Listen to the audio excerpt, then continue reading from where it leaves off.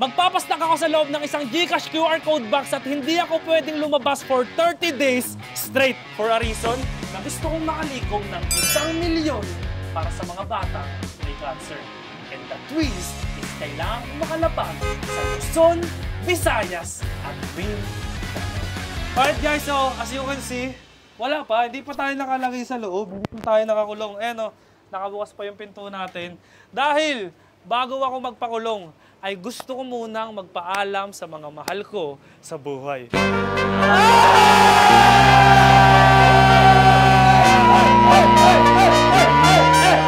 As you can see, nandito si Kuya Clint. Meron 20 minutes timer and pagkatapos ng 20 minutes, papasok na ako sa loob ng box. Play na natin yan, par.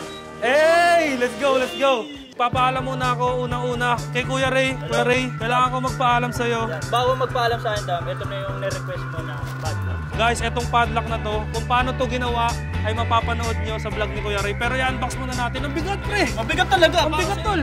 Kasi mabigat yung gagawin mo kaya dapat sing bigat niyan. Yun ang gusto ko sa'yo! Eto guys, yung gagamitin nating padlock para ma-sure na hindi talaga tayo makakalabas sa loob. Yan, para walang dayaan. Oh. Huwag ka mabibigla sa design ha. Ay, yung ganda! Oh! Hey! Yan, meron talaga siyang kadena na ganyan na naka-attach. So, babalik siya every time na hindi siya nakalock. So, talagang nakasil ka dyan. Pero, pero, syempre, Dam, Oh. kung may padlock, syempre may susi. Ayun, susi. Ito nga pala. Yung gold Ang pinaka-importante. Hey!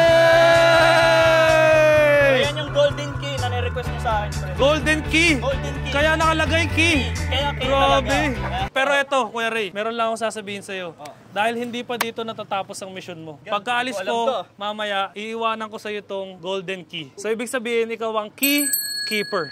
Okay. Okay? At meron kang misyon na maibigay to sa pinaka-karapat dapat na tao sa buong Pilipinas para magbukas sa akin. So ikaw na ang bahala. Kailangan worthy siya kasi hindi niya mabubuhat to. Parang yung Mjolnir ni Thor. So, Sabit mo na tol, wala na kaming oras. Okay, okay. Magpapaalam na ako. Okay, ingat ka para. Galingan mo.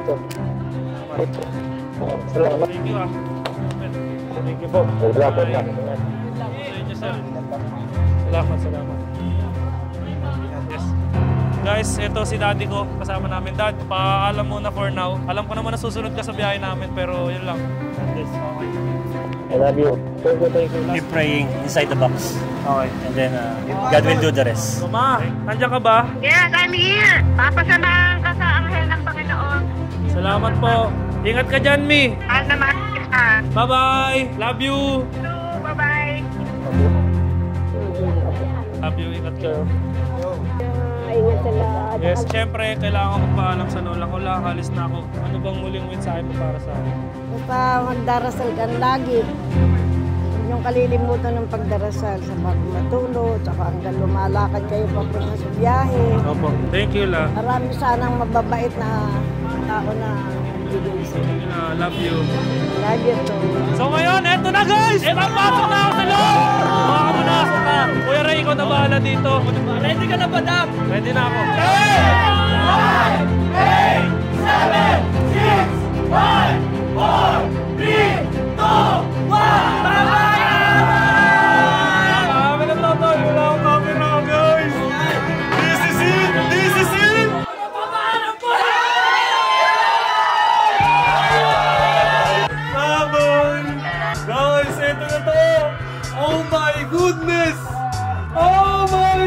Okay!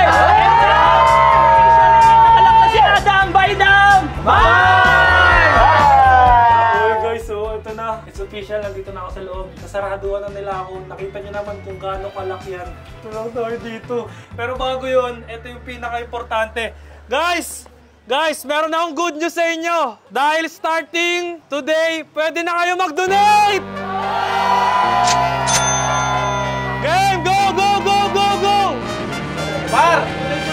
Ang bilis, boss! Donate na, boss? Donate na. Ito, donate na. First donor. First donor. First donor. First donor. Darkaru Vlogs. Wow! Oh my God! Magkano yan, tol? Grabe! Oh!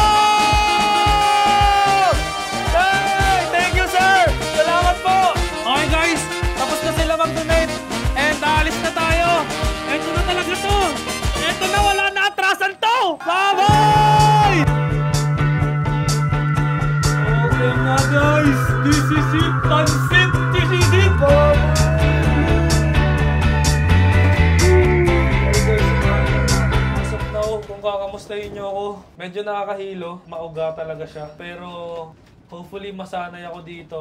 And ngayong araw guys, papunta tayo sa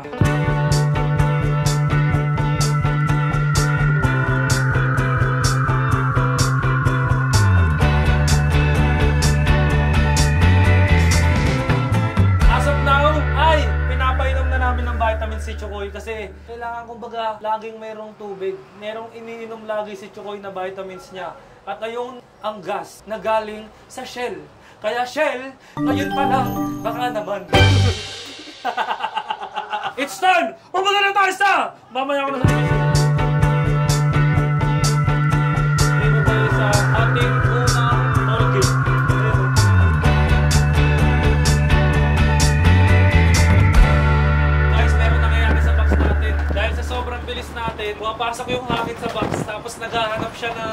Ng malalabasan.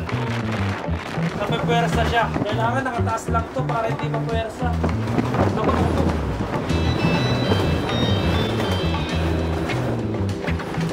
Kinakabahan ako kasi sobrang lakas ng hangin tapos baka biglang masira yung pinto. Doon ako kinakabahan.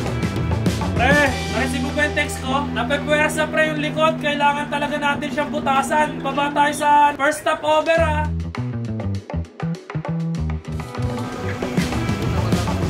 Guys, so nandito na tayo. Kakapark lang natin dito sa NLEX. And meron tayong pupuntahang malayo kaya nandito tayo sa NLEX. Nag-stop over muna tayo. Dahil so kayong i-tour sa kung ano bang meron dito sa bahay natin. Sobrang init ngayon guys. Meron tayo ditong bintana, bintana, bintana. Mga butas-butas para lumabas yung hangin. Pero kailangan nating malakihan yan kasi yun nga yung problema natin. May tornilyo at meron tayo ditong box. Pero tsaka ako nasasabihin sa inyo kung para saan pa tong box na to. Kahoy! Hindi ko rin alam kung ba't meron dyan yan. Orasan. Yan yung timer natin kanina. At meron tayong power bank kasi kailangan natin yan. As you can see, meron ako ditong lagayan ng... ng... Maninat! Meron lang tayong limang piraso ng damit. At kung mapapansin nyo, meron kasulatan sa aking likod. At sa loob ng kasulatan na to ay merong nilalaman. So, etong kasulatan na to ay naglalaman ng isang mahalagang parte dito sa ating channel. At ang laman nito ay ang The Unlockables. 1 million unlockables. Every time na meron akong may hit na milestone sa ating donation from 50k to 1 million ay meron tayong ma-unlock na gamit. Yun ay ang magiging gamit natin dito sa loob. So as of now, wala akong tubig, wala akong panligo, wala akong panlaban ng mga damit ko, wala akong upuan, wala akong mga ibang bagay na kailangan ko dito. Talagang ang meron lang ako, damit, tsaka power bank. Yun lang. So, nandito yung mga i-unlock nating gamit. Wala akong unan, wala akong kama. Nandito lahat sila. So, ngayon, gagawin natin guys. Ididikit natin to dito. Yan. Yun! Nakita nyo? So, as of now, hindi ko pa alam kung ilan na yung donations natin kasi wala sa akin yung GCash dahil kailangan mas safe yung GCash natin. So anything happens sa GCash, mas madali nila magagawa ng paraan. Hindi katulad ko dito na nasa loob ako. Yung team ko sa labas, sila na yung bahala doon na mag-ayos nun. Kaya wala sa atin yung GCash. And for the safety of the money, every day, i-cash out natin siya para yung assurance na nasa atin na yung pera na hindi na siya mawawala. And, eto pa, meron po kaming ilalabas na Google Sheet which is nakalagay po yung lahat ng pangalan ng nag-donate. So if ever po na iniisip nyo na malalagay sa alanganin yung pera nyo, hindi po mangyayari yun. Dahil lahat ng pangalan, reference number ng lahat ng nag-donate ay ilalagay po namin yan sa isang Google Sheet. Na dun sa Google Sheet na yun, pwede nyo i-search yung reference number nung donation nyo. So every 5 days po siya mag-update. Kaya i-check nyo na lang po doon every 5 days kung napunta na po doon yung pangalan nyo. Kasi sobrang dami niya kaya hindi namin siya agad-agad ma-update. Bukod dyan ay maraming mangyayari dito sa loob ng box. At isa na dito ay ang tanong na kung paano ako makakakain. At ganito lang po yung kasimple. Iikot po kami sa Pilipinas at habang umaandar po kami ay meron kaming nababaybay na kilometers. So for example, ngayon po galing kami sa FEU Diliman. So nakarating kami dito sa NLEX. Sa may stopover at almost nakaka 23 kilometers na po kami. So, our kilometers will be equal sa perang pwede ko lang gastusin. So, ibig sabihin, kung 23 kilometers siya, 23 pesos lang yung pwede kong gastusin. Nagaling sa sarili kong bulsa na pwede kong ipangkain. So, ibig sabihin, kung hindi kami aandar, ay hindi ako magkakaroon ng points. And hindi ako makakabili ng anything. Hindi ako makakabili ng tubig ko, hindi ako makakabili ng pangkain ko. Kaya ngayon, dahil 23 kilometers na yung nalalakbay natin, kailangan kong gumawa ng paraan. As of now, guys, hindi pa po ako kumakain simula kanina. And ito yung naisip ko. Meron kaming pupuntahan ngayong araw na malayong lugar. Makakalikom kami ng almost 250 points. So, ibig sabihin, 250 kilometers yung malalakbay namin. Pwede akong mangutang ng puntos ngayon, pero kailangan kong bayaran pagkarating namin dun sa pupuntahan natin na hindi ko muna sasabihin. Pag yung magkano utangin mo, parang... Mga halagang 60 pesos na pagkain, okay na ako dun. pesos. O sige, maghahanap kami. Okay, tol. Na, banat na yun, ha? Banat na yun. Okay. Pasok na ako. Napakainit, napakainit. Parang bahay na walang electric pa na nag-brown out. Saya dito, boss. Bida ang saya dyan, Jollibee yan eh. Magkano yung utang mo ulit? Mga 60 lang. Ah, ito, 96 to. Okay na, Jollibee naman to eh. Jollibee oh, Jollibee! Bida ang saya pag in-sponsoran tayo ng Jollibee! Jollibee! Baka naman! Dahil pinili tayo ng Jollibee, meron tayong utang na 73 points and kailangan natin yung mabayaran sa pupuntahan natin ngayon. Sarap ng coke, pre. Saktong-sakto sa kainitan ng buhay. Ay. So, eto na yung kakainin natin ngayon, tanghalian natin. At may utang pa tayo, 73. Bida ang saya. Pre, bago pala tayo malis, pre, padiskarte naman ako ng bote. Bote? Oo. Para sa inyo, bote. Nahihina ako eh. Bala ka dyan, pasok-pasok ka sa bot. Oo. Paano na lang tala? Ano ka lang? Basta yung mas maganda yung ano, mas malaki yung butas. Bakit oh, bakit mo laki butas? Para mas aangas. Para kunwari malaki. Sige Bigla ako sa'yo, tol. Ihila ako tala. Bye-bye. Ito umihi dito sa loob ng box. Ang sakit sa tuhod. Wiwi. Wow, mali. Ang sarap umihi. Okay na guys. Mission accomplished. With a great power comes with a great responsibility. Yak! Tol! Game na, par. Biyahe na tayo. Kasi, kasi kasuyin na natin yung ano ko, bintana. Biyahe time na ulit tayo. Here we go!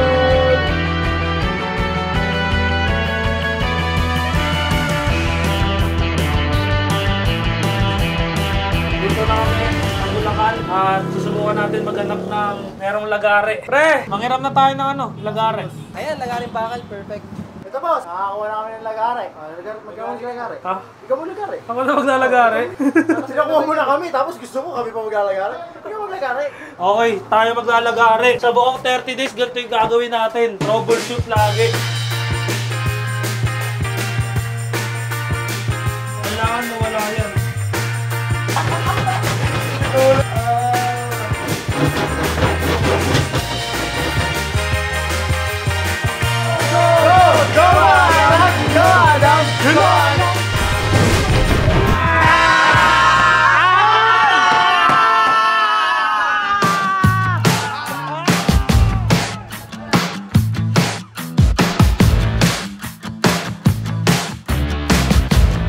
Nasaan na tayo ngayon?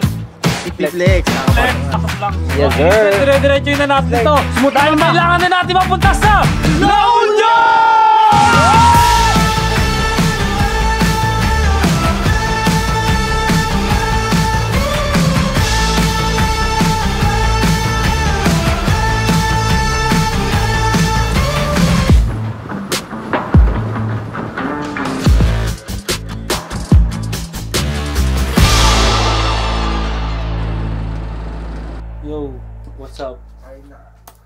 Kain na ako, tol.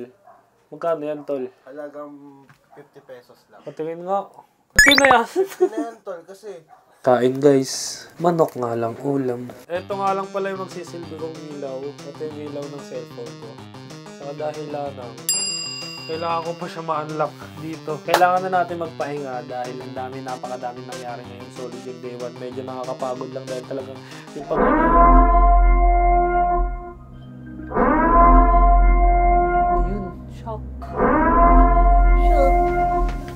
happening? Adam,